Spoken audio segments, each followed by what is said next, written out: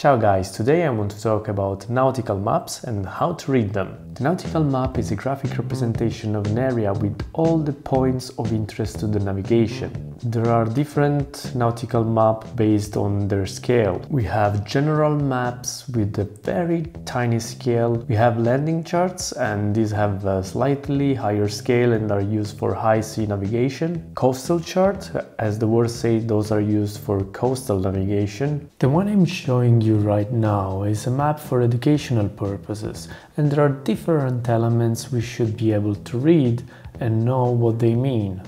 For starting, in the top right position you can see the general information of the map.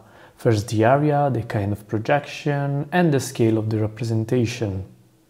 Meridians are the vertical lines that run from the North Pole to the South Pole. They represent lines of longitude and help determine a vessel's east-west position. Parallels, on the other hand, are the horizontal lines that run parallel to the equator. Those represent line of latitude and indicate the vessel's north south position. Together, meridians and parallels form a coordinate grid, allowing navigators to pinpoint exact locations using degrees, minutes and seconds of latitude and longitude. The lines represent depth contours, the isobaths, coastlines and boundaries. Contour lines connect points of equal depth. Then you can see the numbers inside each area which indicate the depths. We can see there are some symbols as well, like ST which indicates sand and mud, CY is for clays, G is for gravel, debris or wreckage, sometimes indicating a sunken vessel. This abbreviation helps sailors understand the seafloor, potential hazards, and navigation aids at a glance. Always refer to the chart legend for exact meanings, as some symbols may vary by chart publisher. Okay, let's now try to make a real-life example in order to learn the very basics. Let's say I'm planning my voyage and I want to go from Capo di Poro to Punta Morcone. Let's draw a line and say I want to leave at 11 am. So I need to know how distant those two points are. At what time I'm going to get there if I keep a speed of let's say 5.7 knots, the fuel I should be carrying considering my consumption and the latitude and longitude of the arrival point.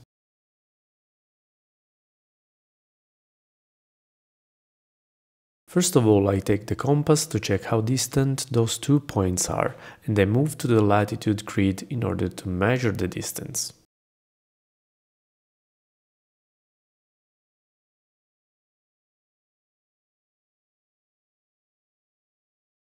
So in this case the two points are 5.7 miles apart, how lucky.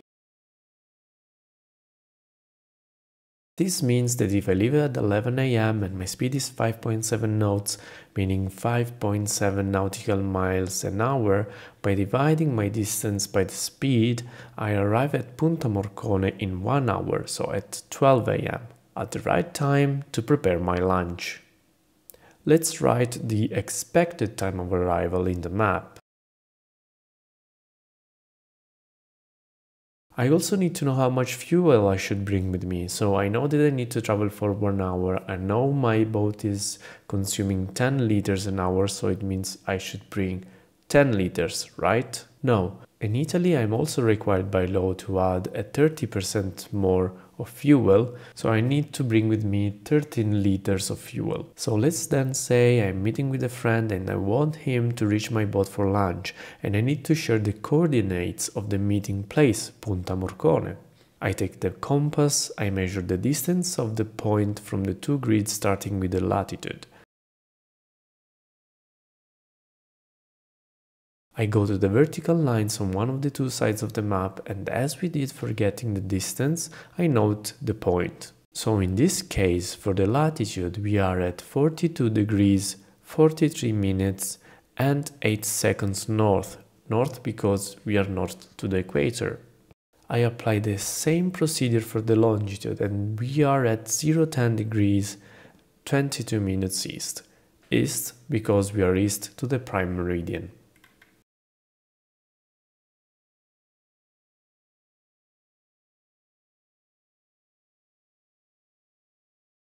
I hope you guys enjoyed this new different video. There are so many other things about navigation we can discuss about, so if you enjoyed this and you want more, let me know in the comments below. Let me also mention that I've launched a new discount code for my digital product on my shop. You can see it here and you will find the link to the shop in the description section below. As I anticipated, I'm not sure I will keep this live for uh, long as cost have risen a bit too much for what I can afford. Uh, so take advantage of uh, the discounts. If you see anything you like, uh, check it out. So be sure anyway to subscribe. It's free, it's helping the channel, it doesn't cost you anything, but it means a lot to me.